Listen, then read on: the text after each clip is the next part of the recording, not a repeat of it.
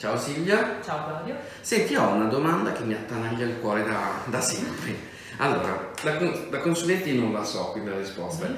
Accertamento tecnico preventivo, consulenza tecnica preventiva, consulenza tecnica, c'è qualche differenza? Cioè a livello legale, se accendo una delle tre, cosa cambia?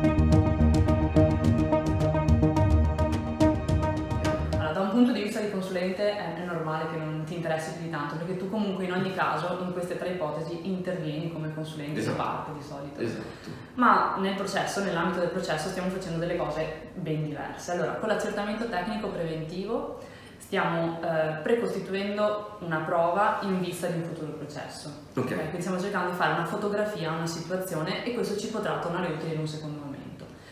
Con la consulenza tecnica preventiva è uno strumento che è stato introdotto qualche anno fa con l'obiettivo di deflazionare il contenzioso, si fa un passo in più rispetto all'accertamento tecnico, cioè si chiede a un consulente incaricato dal giudice ehm, di appunto accertare una situazione, eventualmente anche l'entità di un danno e gli si dice anche guarda che se tu in quel contesto riesci anche a trovare un accordo tra le parti a conciliare le due a conciliarle fallo procedi mm. il verbale con cui concili potrà costituire poi il titolo esecutivo okay. e quindi si potrà iniziare l'esecuzione e via dicendo la consulenza tecnica invece entra sempre in gioco un eh, consulente d'ufficio però siamo nell'ambito di un processo vero e proprio quindi siamo nella fase di istruzione probatoria dove il giudice ha bisogno di capire eh, una questione molto tecnica, accertare fatti controversi okay. molto tecnici, cioè, io non me la sento, non, non, capisco niente di informatica, non capisco niente di macchine, sai che c'è, nomino un mio ausiliario, nella fattispecie il consulente tecnico d'ufficio,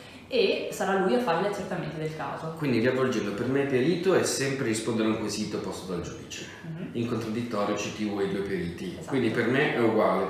Dal punto di vista strumentale per un avvocato cambia il momento in cui accendo lo strumento. Il momento e anche l'esito. E anche l'esito. Chiarissimo, grazie. Ciao.